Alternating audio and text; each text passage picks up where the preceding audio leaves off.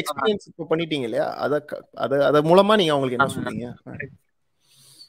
எங்களோட ப்ரொஃபைல்ல முக்கியமான வருதுன்னா ஃபேஸ் காட்டி ஒரு இன்ட்ரடக்ஷன் வீடியோ போட்டிருந்தோம் ப்ரோ நாங்க என்னென்னலாம் பண்ணுவோம்னு சொல்லி இன்ட்ரடக்ஷன் வீடியோ அது மாதிரி ஒன்று கிரியேட் பண்ணி போட்டிருந்தோம். ஃபேஸ் காட்டி போட்டிருந்தோம். அது ஒண்ணு.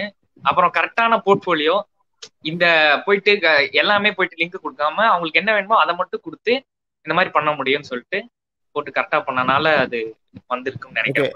ஓகே அது முக்கியமான பாயிண்ட் நான் ஏற்கனவே பல தடவை சொன்னது. இஷ்டத்துக்கு இருபது லிங்க் நாற்பது லிங்க்னு அனுப்பி விட்டு கச்சாமச்சான்னு அனுப்பாதீங்கன்னு சொல்லியிருப்பேன். நீங்க எத்தனை அனுப்புனீங்க? கொஞ்சம் ஸ்பெசிஃபிக்கா சொல்லுங்க. ஃபர்ஸ்ட் வந்து அவங்களுக்கு தேவையான வீடியோ ப்ரோ அந்த அந்த அந்த ப்ராஜெக்ட் எக்ஸாம்பிளான ஒரு வீடியோ அந்த அந்த வீடியோக்கான ப்ராசஸையும் நாங்க வந்து ஷூட் பண்ணி வச்சிருப்போம் ப்ரோ அந்த ப்ராசஸையும் அனுப்புவோம். இதுக்கு என்னென்ன ப்ராசஸ் இருக்குன்னு அதோட வீடியோ லிங்க் ரெண்டு லிங்க் மட்டும். ஃபர்ஸ்ட். லிங்க பார்த்துட்டு பிடிச்சிருந்தா கண்டிப்பா ரெண்டாவது பார்த்துட்டு கண்டிப்பா வந்து ஒரு ஓகே. கால் டு ஆக்ஷன்ல முடிச்சிடுவோம் ப்ரோ கடைசியில வந்து இதை பத்தி கொஞ்சம் அதிகமா சொல்லுங்க அப்படிங்கிற மாதிரி கால் டு ஆக்ஷன்ல முடிச்சிடுவேன். அப்படி வரும். ஓகே இதெல்லாம் நான் சொல்லி கொடுத்ததே இல்லையா? இது நீங்க வெளியே எங்கேயாவது படிச்சிருப்பீங்க. ப்ராசஸ்லாம் காட்டுறது. இல்ல, நான் எங்கேயும் சொன்னது இல்ல. இல்லை. இல்ல ப்ரோ நானா டெஸ்ட் பண்ணி ப்ராசஸ் காட்டினா எனக்கு. கொஞ்சம் இதா அவங்களுக்கு ஓகே. பட் ஆனா எல்லாரும் பாக்குறவங்க எல்லாரும் கண்டிப்பா தெரிஞ்சுக்கணும். ஏன்னா எனக்கே வந்து இதை ஏன் நான் இப்ப சொல்லி கொடுக்கல அப்படின்னு எனக்கு இப்பதான் தோணுது. ஸ்டோரி பிராண்டுன்னு ஒரு மார்க்கெட்டிங் இது இருக்கும். அதுல வந்து ப்ராசஸ் காட்டுறது எவ்வளவு முக்கியம் அப்படின்னு சொல்லுவாங்க. ஏன்னா அதாவது ப்ராசஸ்னா உடனே வந்து அதை காட்டுறதுலயும் ஒரு சூட்சமம் இருக்கு. ஹை லெவல்ல பாயிண்ட் ஏல இருந்து பாயிண்ட் பிக்குள்ள ஒரு மூணுல இருந்து ஆறு ஸ்டெப் காட்டணும் வழக்கமா. ம். கிளைண்ட் எங்க இருக்காங்க? அதான் பாயிண்ட் ஏ கிளைண்ட் கடைசியில எங்க ஃபைனலா எங்க வராங்க? அதான் பாயிண்ட் பி ஓகே ப்ராஜெக்ட் முடியிற இடம். அதுக்கு நடுவுல ஒரு அஞ்சு டு இல்ல மூணு டு ஏழு ஸ்டெப் காட்டுங்க அப்படின்னு தான் சொல்லுவாங்க வழக்கமா.